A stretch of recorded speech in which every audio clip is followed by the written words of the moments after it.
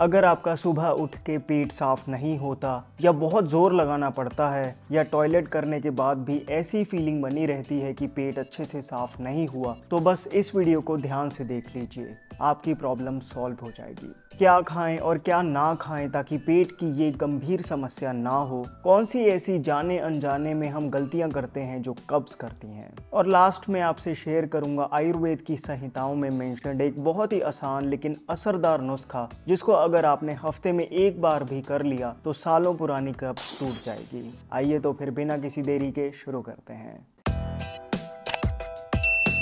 Hello friends welcome to fit tuber Hindi दोस्तों, आयुर्वेद के अनुसार तो आपको जितना टाइम यूरिन पास करने में लगता है, बस लगभग उतना ही टाइम स्टूल पास करने में भी लगना चाहिए। लेकिन आजकल न जाने कितने लोगों की ये समस्या है कि 15-20 मिनट टॉयलेट में बैठे रहने के बावजूद भी प्रेशर नहीं बनता। बहुत ज़ोर लगाना पड़ता है और करने के बाद भी पूरी सेटिस्फेक्शन फील नहीं होती। अगर ऐसे ही कुछ लक्षण आप भी महसूस करते हैं तो जान लीजिए कि आपकी आंतों में गंदगी इकट्ठी होती जा रही रही है और ये ना सिर्फ़ आपकी आंतों को कमज़ोर बना रही है, बल्कि इससे छोटी से लेकर बड़ी प्रॉब्लम्स पनपती हैं। मुँह से बदबू आना, गैस पास होने पे बहुत गंदी स्मेल आना, खाना खाते ही पेट फूल जाना, भूख लगना कम हो जाना स्किन पे दाग फोड़े फिंसी होने लग जाना और बाल झड़ना इसके अर्ली सिम्टम्स हैं। लेकिन ध्यान ना दें तो यही आगे जाके आईबीएस पाइल्स और स्टमक अल्सर जैसी प्रॉब्लम कर देती हैं। इसलिए ये बहुत ही ज़रूरी है कि आप इस प्रॉब्लम को समझें ताकि इसे जड़ से ठीक कर सकें।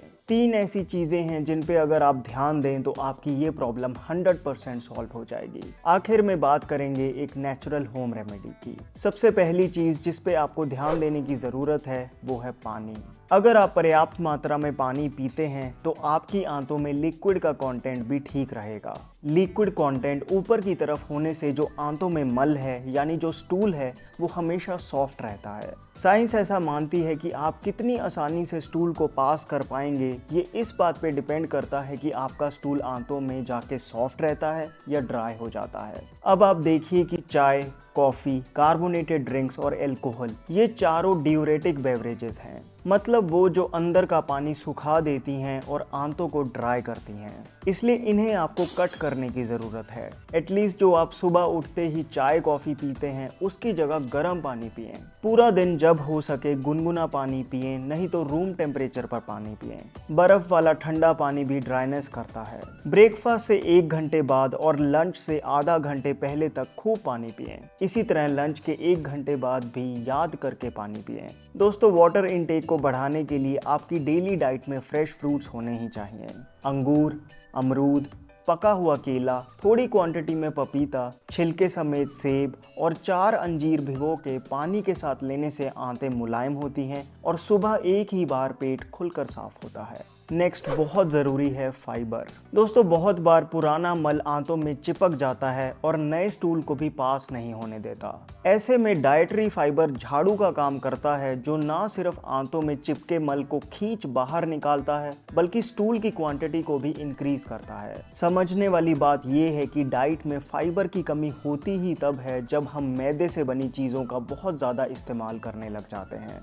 Samosa, kachori, pizza, burger, momos bread bhature इन सब में फाइबर ना के बराबर होता है। अब यही सब चीज़ें जाके आंतों में चिपक जाती हैं, जो पहले गैस करती हैं, बाद में कब्ज कर देती हैं। आपको इस फास्ट फ़ूड को जितना फास्ट हो सके कम करना चाहिए। जिस आटे से रोटी बनाते हैं, उसमें भी थोड़ा चोखर, यानी वीट ब्रान मिक्स कर लें। थोड़ी क्वांटिटी में बाजरा या छोले का आटा मिक्स कर लेंगे तो ना सिर्फ़ रोटी में फाइबर बढ़ेगा, बल्कि रोटी ज़्यादा पौष्टिक भी हो जाएगी। दोस्तों, ओट्स एक ऐसा अनाज है जिसमें भरपूर मात्रा में सॉल्युबल और इनसॉल्युबल फाइबर होता है। इसका आप ब्रेकफास्ट में सब्ज़ियाँ डालकर नमकीन दलिया बना सकते हैं या दूध में ओटमील बनाकर खा सकते हैं। दालों में भी जितना हो सके धुली दालों की जगह छिलके वाली दालें खाएँ। फल और हरी सब्जियों में भी फाइबर होता है। फिर बात करते हैं एक्सरसाइज की। दोस्तों, साठ हज़ार वेमेन पे एक स्टडी हुई जिसमें पाया गया कि जिन महिलाओं ने थोड़ी भी एक्सरसाइज की, उनको कॉन्स्टिपेशन की दिक्कत नहीं हुई। फिर जापान में उनहत्तर हज़ार लोगों पे स्टडी हुई, जिसमें फिर से यही बात सामने आई कि जिन लोगों का एक्टिव लाइफस्टाइल था, उनके इंटेस्टाइनल मसल्स बेटर कॉन्ट्रैक्ट होने लगे। ब्लड फ्लो इंक्रीज हुआ, जिससे उन्हें कॉन्स्टिपेशन की प्रॉब्लम नहीं हुई। यहाँ तक कि रोज सिंपली वॉकिंग करने से भी आपको फ़ायदा होगा। लेकिन आयुर्वेद में एक एक्सरसाइज है, जिसे आप कहीं भी बैठकर 5-10 मिनट के लिए भी कर लें तो आपकी इंटेस्टाइनल मूवमेंट बहुत तेज़ी से बढ़ जाएगी। वो है कपाल भाती यानी रैपिड एक्सेलेशन लेकिन पेट साफ़ ना होने की दिक्कत के चलते अगर आप इस कपाल भाती को अपान वायु मुद्रा लगाकर करेंगे तो बहुत जल्दी फ़ायदा होगा। इस मुद्रा को लगाने के लिए इंडेक्स फिंगर को अंगूठे की छोर की ओर ले जाएँ, फिर सेकेंड और थर्ड फिंगर से अंगूठे के इनर टिप को छुएँ। बस इस तरह इस मुद्रा को लगाकर आप पाँच मिनट भी कपाल भाती कर लें तो आंतों में जो वायु के प्रकोप से मल रुका हुआ है वो आसानी से बाहर आने लगेगा।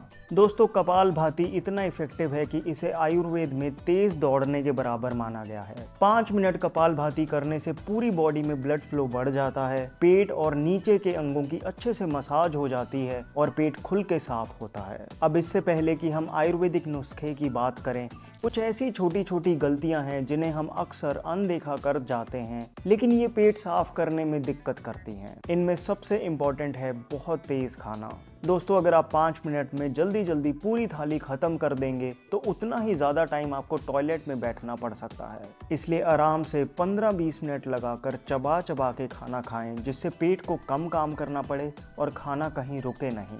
फिर खाना खाने का कोई फिक्स टाइम ना होना, बहुत ज़्यादा स्ट्रेस लेना, आरओ वाला पानी पीना और बिना बात के पेट साफ़ करने वाली दवाइयों पे डिपेंडेंट रहने से भी लॉन्ग टर्म में आंतें इतनी कमज़ोर हो जाती हैं कि कॉन्स्टिपेशन क्रॉनिक मोड ले लेती है। इसलिए ऐसा ना हो, आप पहले ही क्विक फिक्सेस की जगह मूल कारण से ही इस प्रॉब्लम को ख़त्म कर दें। आइए अब बात करते हैं उस आयुर्वेदिक नुस्खे की, जो 100% नेचुरल है सेफ़ है, और जिसे आपको हफ़्ते में एक ही बार करना है। किसी छुट्टी वाले दिन जैसे संडे को सुबह उठ के पहले थोड़ा पानी पी लें। फिर एक चम्मच सौंफ को एक गिलास पानी में तब तक उबालें, जब तक एक गिलास का आधा गिलास पानी ना रह जाए। अब इसे छान कर रख लें। जब ये पानी हल्का गुनगुना हो जाए तो इसमें एक बड़ा चम्मच एरंडी का तेल, यानी कैस्टर ऑयल मिला दें। मिलाने के बाद इसे एकदम से पी जाएँ। कैस्टर ऑयल की सबसे बड़ी प्रॉपर्टी ये है कि ये आपकी बॉडी में टिकता नहीं।